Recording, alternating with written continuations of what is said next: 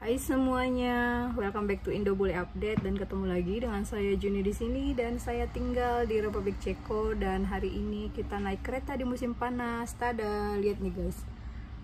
Panas bersinar dan hari ini kira-kira sekitar 22 derajat Celcius dan sekarang ini jam 8 pagi udah terang banget dan aku mau tunjukin gimana suasananya naik kereta di musim panas ini dan gimana pemandangannya dan tetap ikutin saya.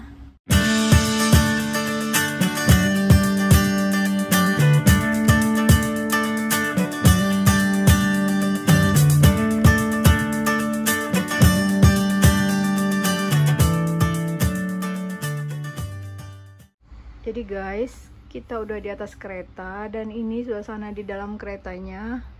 Jadi aku mau pergi ke Litopel sekitar satu jam dari Prosteop. Satu jam itu karena banyak istirahatnya sebenarnya nggak terlalu jauh. Dan ini guys di dalam. Di kursinya itu hadap-hadapan gitu sebelah sana tiga kursi dan sebelah sini dua. Dan ini keretanya kecil karena nggak terlalu banyak ke Litopel dan suasana hari ini sangat cerah dan sekarang udah musim summer. Jadi ini aku tunjukin di luar. Nah udah panas banget guys. Padahal ini jam 8 pagi. Dan ntar lagi keretanya jalan kita lihat suasananya di jalan seperti apa. Dan keretanya udah jalan guys.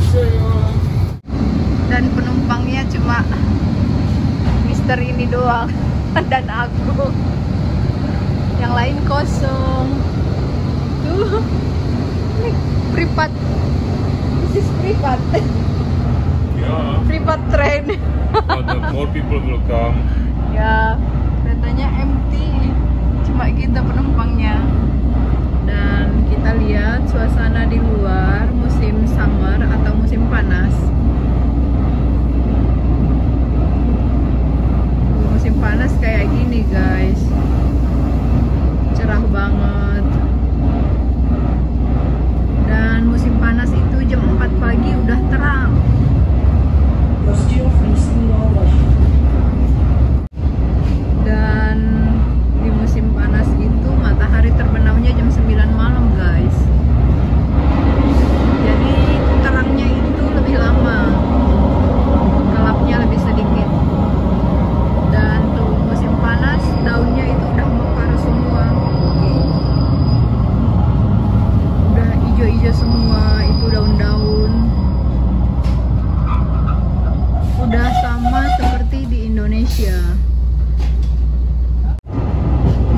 poppies sayang that's the blue one you see them I don't see the blue ones. Oh yeah, here.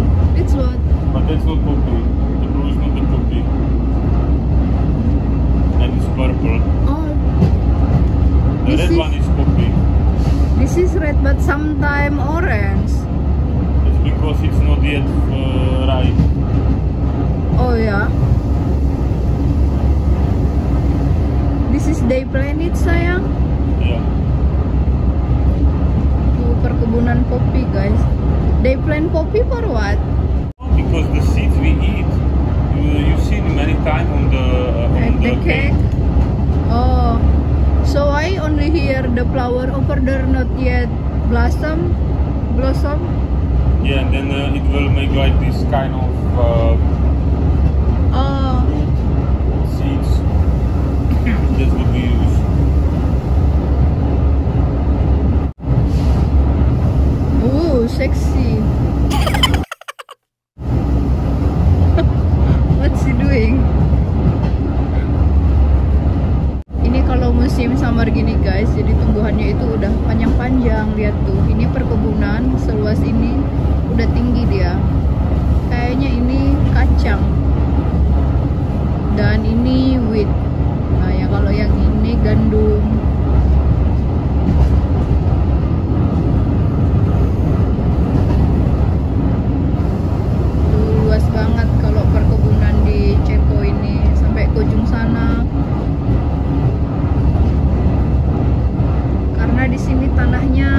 landai rata gitulah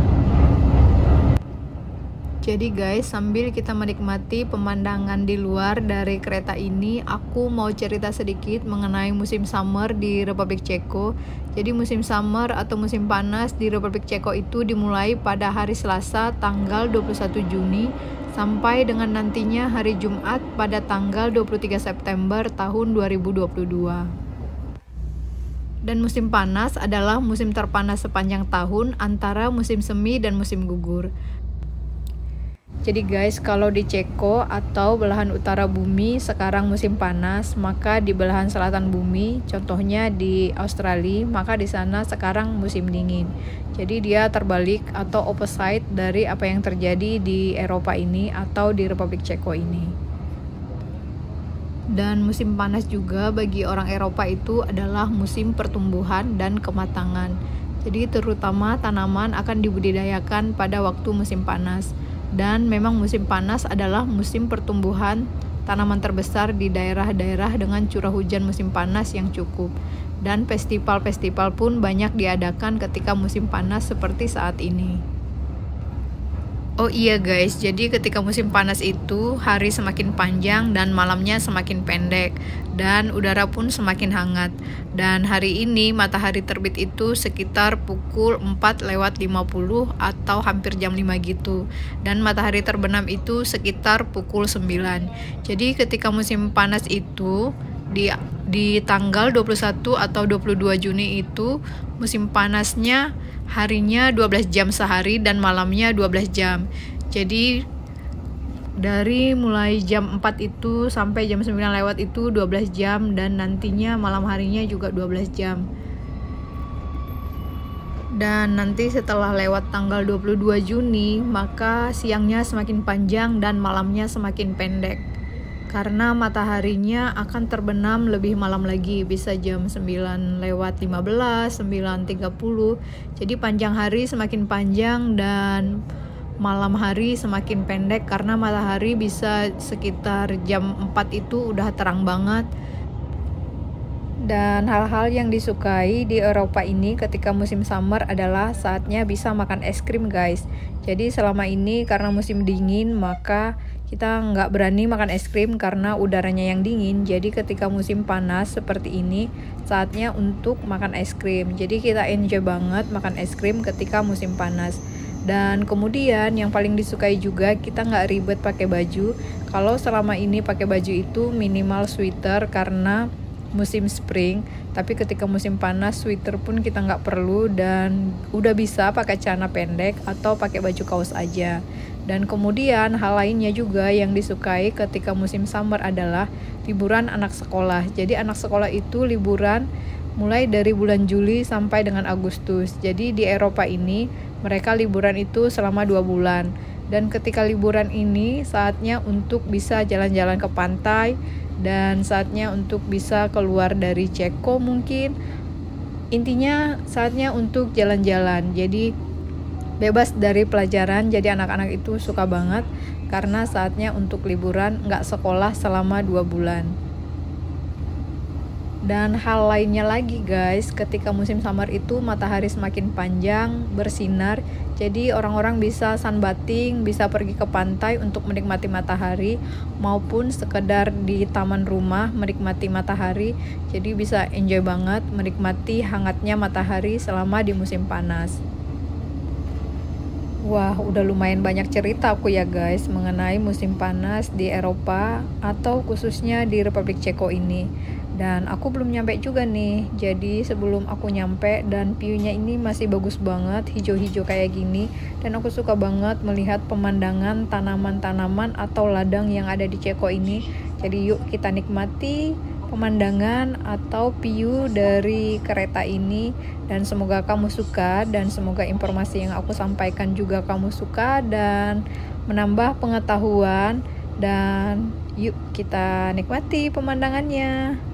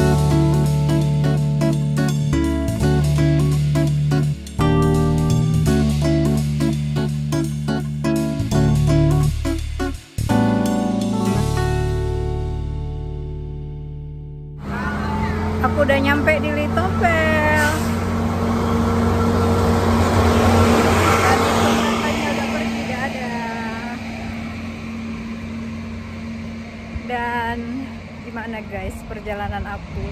Cantik banget kan suasananya itu hijau-hijau, pertaniannya yang luas, banyak bunga popi, banyak bunga kanola, ada wheat, ada jagung, banyaklah. Aku suka naik kereta untuk melihat view di Republik Ceko ini. Dan terima kasih sudah mengikuti Indo Bule Update dan semoga kamu terhibur. Tapi sebelum meninggalkan video ini, buat kamu-kamu yang belum subscribe, di subscribe dulu. Dan buat kamu yang sudah subscribe, terima kasih banyak. Dan see you di next video menarik lainnya. Dadah, ahoy!